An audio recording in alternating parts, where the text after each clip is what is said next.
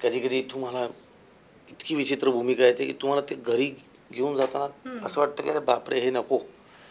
इतका रक्तपात इतकं सगळं नको. आणि कधी कधी असं असा सिनेमा येतो की तो म्हणतो की आहे रे आहे आयुष्यात काहीतरी तरी सुंदर आहे. असं तो त्यापैकी हा सिनेमा. चैतू मला माहिती होता चित्रपटातून. तो आता मोठा झाला आहे आणि बाकीची ही दोन्ही पोरं भार्गव आणि आमची चिमी तर हे इतकी इतकी कमालीची चमत्कार असलेली म्हणजे काहीतरी मॅजिक असलेली मुलं आहेत. तर त्यांच्याबरोबर काम करताना खूपच भारी वाटलं. नमस्कार मी रसिका शिंदे महाएम टी व्हीमध्ये तुमचं स्वागत. दोन हजार अठरामध्ये नाळ हा चित्रपट आला होता आणि प्रचंड यश त्या चित्रपटाला मिळाला होता आणि पाच वर्षांनंतर आता नाळ भाग दोन दहा नोव्हेंबरला प्रदर्शित होणार आहे आणि त्याच निमित्ताने अभिनेता जितेंद्र जोशी आपल्यासोबत आहे. जितू दादा आधी सगळ्यात तुझं स्वागत. इतक्या त्या चित्रपटाला प्रचंड यश मिळालं आणि आता तू नाळ भाग दोन त्या चित्रपटाशी तुझं असोसिएशन होतं आहे पहिलं चित्रपटाशी असोसिएशन नागराज सरांसोबत काम. कसं वाटते आणि तुझ्या भूमिकेबद्दल एक थोडक्यात आम्हाला सांगशील नाळ जेव्हा मी पाहिला होता खूप आवडला होता. दोनदा पाहिला मी चित्रपटगृहात जाऊन.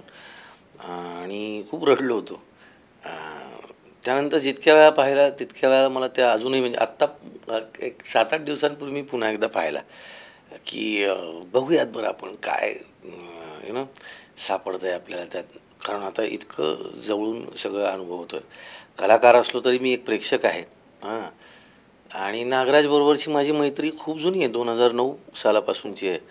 म्हणजे जेव्हा नागराज असिस्टंट डिरेक्टर होता एका चित्रपटात आणि तिथे तो क्लॅप द्यायचा तेव्हा माझी मैत्री झाली. आणि त्याची माझी नाळ त्याच्या कवितेमुळे जोडली गेली. त्या कवितेची आवड आमच्या दोघांची एकसारखी. आणि त्यांनी त्याचा प्रवास सगळ्यांनीच पाहिला आहे मी तर खूप जवळून पाहिला आहे पण कधी आम्ही कामाच्या आड मैत्री आणि मैत्रीच्या आड काम कधी येऊ दिलं नाही. आणि जेव्हा त्यांनी मला यासाठी विचारलं मी खूपच खुश झालो. म्हणतो बर तो म्हणला छोटी भूमिका आहे पण भारी आहे. करशील का? म्हणलं का नाही करणार मी? तू करतोय म्हटल्यानंतर. आणि त्यात गंमतच झाली. ही जी चैतू मला माहिती होता चित्रपटातून. तो आता मोठा झाला आहे आणि बाकीची ही दोन्ही पोरं भार्गव आणि ही आमची चिमी तर हे इतकी इतकी कमालीची चमत्कार असलेली म्हणजे काहीतरी मॅजिक असलेली मुलं आहेत. तर त्यांच्याबरोबर काम करताना खूपच भारी वाटलं. ज्या ठिकाणी शूटिंग होतं ते जुन्नर तालुक्यातलं गाव तिथलं वातावरण आणि ज्या पद्धतीनं सुधाकर रेड्डी यांनी शूट केलं आहे चित्रपट जसं त्याचं चित्रीकरण केलं आहे ते पुन्हा एक खूप सुंदर होतं. आणि तो माणूस खूप मस्त आहे. म्हणजे आमच्या सेटवर जेव्हा ही छोटी मुलगी आमची चिमी अशी क्यूट आहे. काय तिथून डायरेक्ट तिथून शिकून आली. कुठल्याही नाट्य शिबिरात माणूस शिकू शकणार नाही अशा गोष्टी तिच्याकडे या वयात.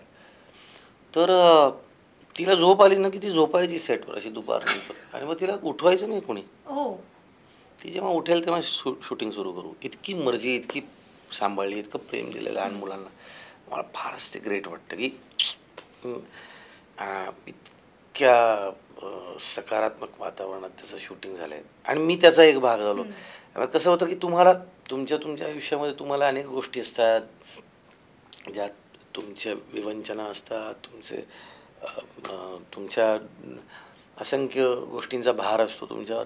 पण सिनेमा करत असताना तुम्हाला त्या त्या सिनेमातल्या त्या त्या टीमकडून त्या माणसांकडून काहीतरी मिळत असतं.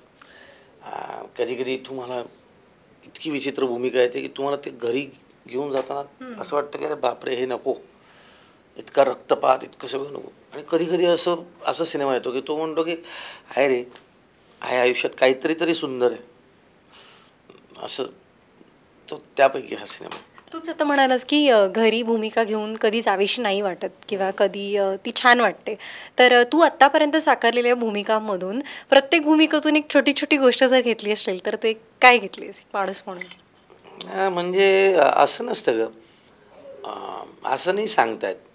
आता अख्खा तुकाराम महाराजांवर चित्रपट केला मुख्य भूमिका तुकाराम बुवांची केली. तुकाराम बुवांचा एक अभंग जरी म्हणजे समजायला काय समजतो तो. कारण इतकं बाकीच्या लोकांनी प्रवचनकारांनी सांगून ठेवलं आहे गाथेमध्ये सुद्धा त्या अभंगाचा अर्थ काय तो लिहून ठेवलेला आहे. पण आपल्याला ते अंगीकारणं एक तरी ओवी अनुभवावी आपण जे म्हटलेलं आहे ना ज्ञानेश्वरीबद्दल.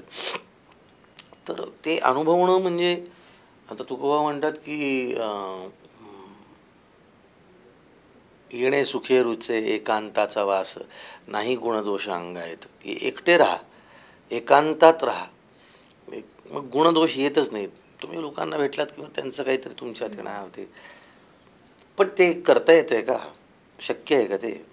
तर तसं शक्य नाही. दररोज ते संतांना साध्य झालं. म्हणून तर ते संत झाले. आपण यकश्चित माणसं आपल्याला आपल्या घराचे हप्ते आहेत. आपल्याला मुलाबाळांचं शिक्षण आहे आपल्याला. आता पाणी गेलं ते पाणी येणार नाही पाणी भरून ठेवा. बापरे केवढा उखाडा वाढला. कोणीतरी आपल्या जवळचं गेलं कोणीतरी नवीन जन्माला आलं कोणातरी हॅपी बर्थडे कोणाचं तरी श्राद्ध आहे कोणाचं काय कोणाचं काय. ही माणसं वेगळी होती. तर त्यामुळे हां अर्थात तुम तुम्ही त्या त्या त्या माणसांबरोबर जेव्हा असता तेव्हा त्या त्या माणसांचं काही काही गोष्टी तुम्हाला आवडतात. माणूस असा एका चित्रपटातनं असं बदलेल बदलेल असं होत नाही. नाळ आहे म्हणजे कोणाची तरी एक नातं जोडलेलं आहे. तर या मनोरंजन सृष्टीमध्ये असं तुझं कोणाशी अशी नाळ जोडलेली आहे? अहो किती लोक आहेत? त्यातली एक कोणी जर सांगायची. खूप लोक आहेत एकाचं कसं नाव घेऊ? मग बाकीच्या म्हणा. म्हणजे कितीतरी माणसं आहेत. मी मित्र वेडा माणूस आहे. मित्र आणि मैत्रिणी खूप आहेत माझे. आणि या चित्रपटाच्या बाबतीत म्हणशील तर मग नागराज आहे गार्गी आहे. त्याच्यानंतर आमचं ज्यांनी म्युझिक केलं आहे गाणी केले तो ए व्ही प्रफुल्लचंद्र आहे. आता ही पोरं आहेत सगळी हां यांच्याबरोबर आहे की माझी नाळ? म्हणजे सगळ्यांसोबतच आहे का? म्हणजे ते महात्मा गांधीजींचं वाक्य आहे की एकतर ईश्वरापर्यंत पोचण्याचं दोनच मार्ग आहेत की एकतर एकटे राहा किंवा मग सगळ्यांशी मैत्री करा. ते एकटं राहणं तर आपल्याला काही जमणार नाही. त्यामुळे मी सगळ्यांशी मैत्री करायची. बरं तू आहेस आणि एखादी कविता नाही होणार सर. पटकन आठवणारी अशी काही कविता. कविता माझ्याकडे आत्ता कुठलीच नाही आणि मला आता ते पुसून काढायचं की जितेंद्र जोशी म्हणजेच कविता. तर तसं नाही आहे दरवेळेला कविता असतेच असं नाही. दरवेळेला आणि कारण काय जे आहे ते सांगून सांगून झालेले आहेत. आणि मला फार कंटाळा येतो कंटेंट क्रिएशन करण्याचा. त्यामुळे माझं यूट्यूब चॅनल असून सुद्धा मी त्याच्यावर काही टाकत नाही. कारण मला ते जरा आता मी अशा व्यवसायामध्ये आहे की जिथे कंटेंट क्रिएट करावाच लागतो. पण मग तो हा आहे. परत मी हे ह्याच्यावर यूट्यूबवर मला असं वाटतं की थांबावं थोडं माणसाने. मला मी किती दोन हजार सालापासून मी कविता करतो आहे अनेक फाडून फेकून दिल्या कुठे काही हरवल्या कुठे काही फेसबुकवर लिहिल्या होत्या ते अकाउंट हॅक झालं. लोक म्हणतात पुस्तक का नाही कळत मला माहितीच नाही काय कुठं काय कविता ही आपल्यासाठी असते. बरं दिवाळीच्या दिवशी दहा नोव्हेंबरला प्रदर्शित होतोय दिवाळीची सुरुवात होते. तर दिवाळीच्या काही आठवणी किंवा एखादी लक्षात राहणारी दिवाळी अशी आहे का तुझी? या, दिवाळी खूप दिवाळ्या आहेत तशा म्हणजे पार अं, घरी सगळं सगळ्या गोष्टी. मी एवढं सांगेन मी की आम्ही गरिबीत वाढलो परंतु आमची आजी जी होती तिने आम्हाला कधी काही कमी पडू दिलं नाही. यु नो एक तर दिवाळीमध्ये पूर्वी लहान असताना कुणाच्याही घरी गेलं की ते फराळ मिळायचं. त्यामुळे असं वाटायचं कुणाच्या किती लोकांच्या घरी जाऊन किती नको असं. पण आमची आजी ते सगळं सामान गोळा करून काय काय काय काय बनवायची ते सगळे मिठाया आणि साधंच असायचं. फार मजा यायची. ते फार बरं वाटायचं. म्हणजे मला असं वाटतं की ना ह्या पैसे आणि गरिबी म्हणजे श्रीमंत आणि गरीब असं लहानपणी काहीच नसतं.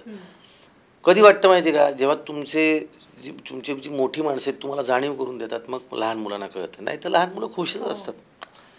दिवाळी आली की कपडे मिळायचे. वर्षातनं दोनदा कपडे मिळायचे. वाढदिवस आणि दिवाळी. हो. त्यामुळे त्यात ते एक फॅसिनेशन असायचं. की ते दिवाळीसाठी. आहेत बऱ्याच दिवाळ्या आहेत अशा मनातल्या. बरं जाता जाता प्रेक्षकांना काय सांगशील? काय एवढं बोललोय आता तुम्ही पहा. चांगला चित्रपट झाला आहे आणि खरोखर चांगला आहे. मस्त कामं झाली सगळ्यांची म्हणजे एस्पेशली या मुलांची आणि तुम्हाला आवडेल मजा येईल. असं मला वाटतं प्रामाणिकपणे. काय प्रत्येक सिनेमाच्या वेळेला हे म्हणावंच लागतं की अहो तुम्ही सिनेमा बघा. काही काही सिनेमांच्या वेळेला म्हणायची आवश्यकता नसते कारण लोकांना बरोबर कळतं. लोक हुशार असतो लोकांना कळतं. नक्कीच तुला खूप खूप शुभेच्छा. दिवाळीच्याही शुभेच्छा आणि चित्रपटासाठी देखील शुभेच्छा. तर दहा नोव्हेंबरला नाळ भाग दोन प्रदर्शित होतोय. नक्की चित्रपटगृहात जाऊन पहा. भेटूया पुढच्या वेळेला. धन्यवाद.